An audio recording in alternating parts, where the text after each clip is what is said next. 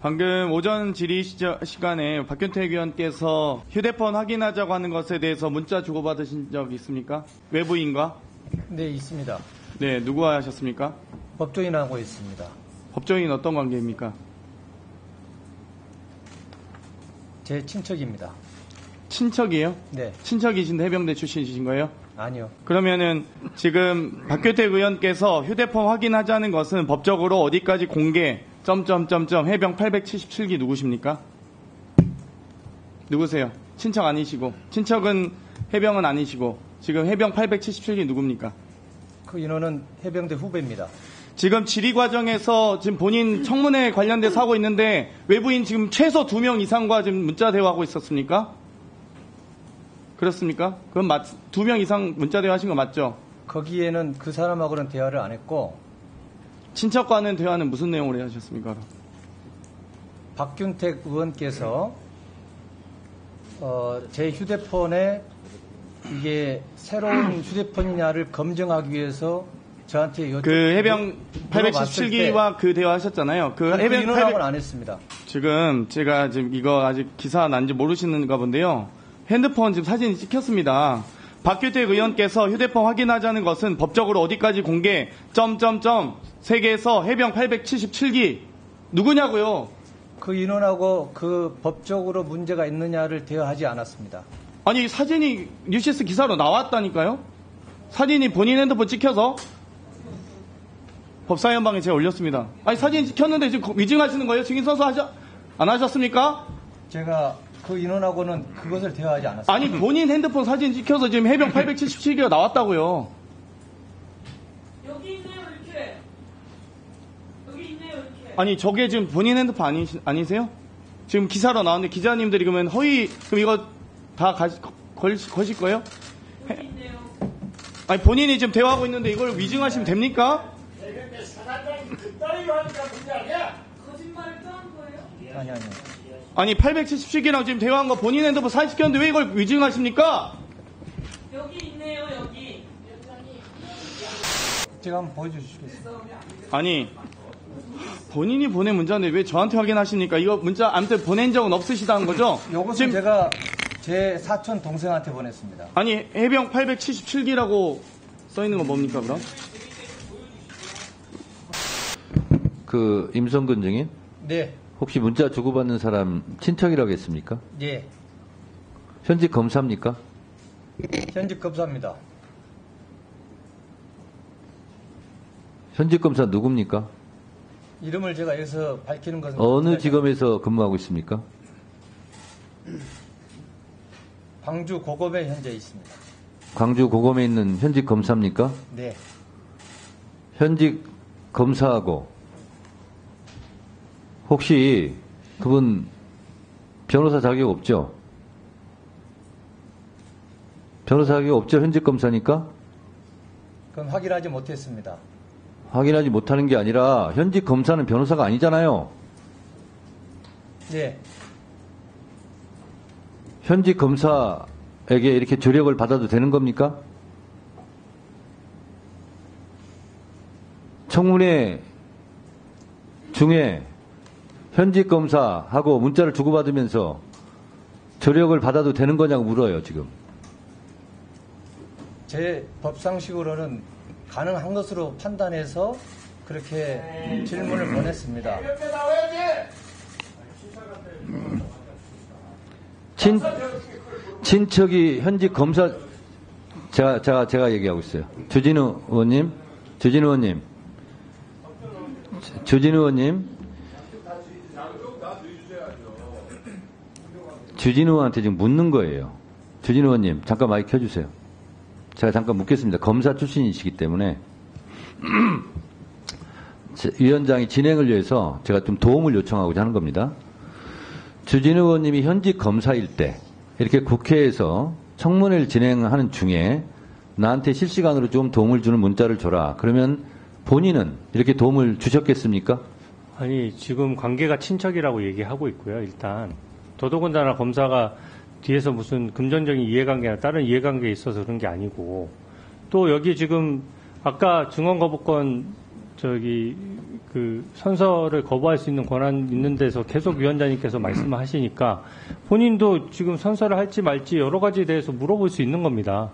거기에 대해서 뭐 어떤 위법적인 어드바이스를 하거나 그런 게 아니라 아 이거는 상황에 비춰봐서 중인 선서 하는 게 더 나을 것 같다 이렇게 얘기할 수도 있는 것이고 알겠습니다. 실제로 선서도 했지 않습니까? 자. 예. 임성근 증인, 네. 증인 선서를 할지 말지 조언을 구했습니까? 그것도 조언을 구했습니다. 다른 건 또 뭐 구했습니까? 이 박균택 의원님 그, 사- 그 휴대폰 어, 협조와 관련해서 어느 정도까지 하는 게 법적으로 타당한지를 제가 문의를 했습니다. 뭐라고 답변했습니까? 뭐라고 답변했습니까? 법적으로는 어, 일단 예, 그 정도 하겠습니다. 예. 임성, 임성근 증인, 국민의힘이 그만하라니까 그만하려고 답변했습니까? 그러지는 않습니다. 지금 우리 의원들이 질의하고 있는데 현직 검사와 문자를 주고받으면서 답변을 조율하면 되겠습니까? 더군다나 증인 선서까지 하면서 숨김과 보탬이 없이 얘기한다고 했지 현직 검사와 도움을 주고받으면서 증언을 하겠다라고 선서하지 않았잖아요. 변호사의 업무를, 업무를 방해하고 있는 것입니다. 법사의 청문회를 방해한 것입니다. 변호사라고 거짓말을 아닙니까? 검사 잠깐만요. 자, 장경태 의원도 조용히 하시고요. 저는 저는. 자, 조용히 잠깐만요. 이 부분은 매우 저는 제 개인적으로 위원장으로서 청문회를 진행하는 위원장으로서 매우 부적절하고 매우 중요한 일이라고 생각합니다. 그래서 현직 검사와 그것도 공무원과 이 근무 시간에 그 검사가 이 청문회에 나와 있는 증인과 문자를 주고받는 것이 저는 매우 부적절하다고 생각하기 때문에 이 부분에 대해서 잠깐 저는 정해를 하고 의원님들 잠깐 좀 논의를 했으면 좋겠습니다. 10분간 정의하겠습니다. 그러니까 경험한 사실을 저는 변호사한테만 그럴 수 있는 거예요. 그게 무슨 변호사 문제 있어요. 법률적 문제가 아니잖아. 근무 중이잖아요. 아니 그렇더라. 그거 그거는 그 문제고 다른 문제죠. 여러 가지 무슨 법적인 문제가 있어요. 아 좋은 게 문제가 됩니다. 문제가 있어요. 할수 있겠네요. 아니죠. 어, 친척이 아는데 그 조언이 무슨 법적으로 문제가 있다고 그래요. 임성근 증인, 네. 그 검사의 실명을 제가 확인했습니다. 어, 그렇지만 어, 제가 실명을 공개하지는 않겠습니다.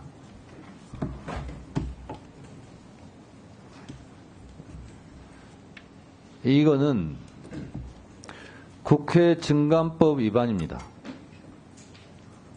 증인과 참고인은 합법적인 절차에 의해서 변호인을 대동할 수 있어요. 이거는 증감법에서 정한 합법적으로 변호인을 대동한 것이 아니라 현직 행정부 공무원인 검사와 청문회장에서 실시간으로 문자를 주고받는 행위는 증감법 위반이고 국회를 모욕하는 행위예요. 그리고 그 검사는 검사 윤리 강령 위반일 가능성이 매우 높습니다. 검찰청에서 이 부적절한 행위에 대해서 징계를 할 수도 있고 그 부분은 임성근 증인 때문에 징계를 당할 수도 있어요. 앞으로도 계속 하시겠습니까? 일단 그 검사는 그 청문회 어, 시간 중에 저한테 답장한 건 없습니다. 그래서 검사의 책임은 없습니다. 제가 보낸 것만 있습니다. 아까 증언 여부도 주고받았다고 하고 그 외의 것도 주고받았다고 본인이 얘기했잖아요. 그건 점심 시간에 문의를 한 거고 점심 시간에 문의를 한 것일 뿐입니다. 임성근 증인.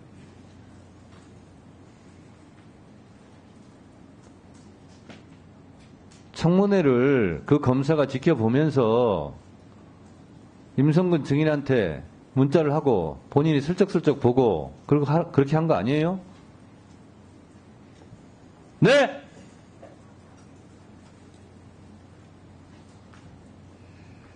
금방 들통날 말을 왜 그렇게 해요?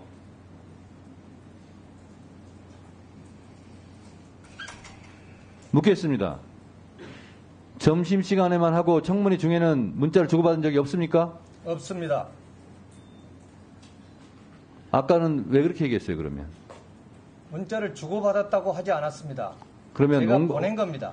보냈습니까? 예, 온 건 없습니까? 온 건 없습니다.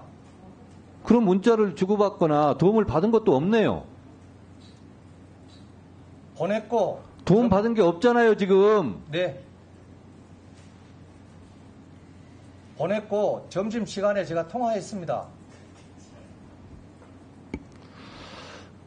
방금 정해정해, 정해 전에 서로 문자를 주고받고 도움을 받- 주고받았다는 취지로 얘기하지 않았어요? 문자를 보냈다고 했습니다. 답변 온 건 없습니까? 답변 온 것은 문자 답변은 없, 없습니다. 유상범 위원장입니까? 저- 점심 때 제가 통화한 겁니다. 유상범 위원장이냐고요? 지금 제가 진행하고 있잖아요. 유상범 위원장이냐고 제가 물어요. 아니죠? 그럼 가만히 있어요. 질문권을 갖고 하세요, 그럼. 질문권을 가지고요. 지금 의사 진행을 제가 하고 있어요. 증인, 다시 묻겠습니다. 청문회 중에 문자를 했거나 문자를 받았거나 한 적 있어요, 없어요? 문자를 제가 보냈고 청문회 중에 문자를 받지 않았습니다. 청문회 중에는 문자 보냈습니까? 청문회 중에는 제가 보냈습니다. 지금 문자를 주고 문자를 지금 보냈죠. 네. 근데 점심 시간에만 저- 통화만 했다면서요. 또 방금 전에는 그러니까 문자를 주고 나서 그 다음 점심 시간에 통화를 한 겁니다. 증인 뭐 이런 것 가지고 이렇게 길게 얘기할 필요 없이 청문회 중에 본인이 문자를 보냈다고 또 얘기하잖아요. 지금 방금 전에 또 그런 적이 없다고 그러고 청문회 중에 제가 문자를 보냈고 동생은 저한테 온 게 아니고 청문회 끝나고 나서 점심시간에 제가 전화 통화를 통해서 문의를 한 겁니다.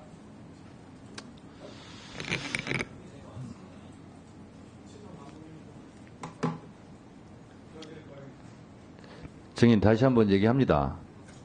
그렇게 하지 마세요. 그리고 차라리 자신 없으면 그냥 침묵하세요.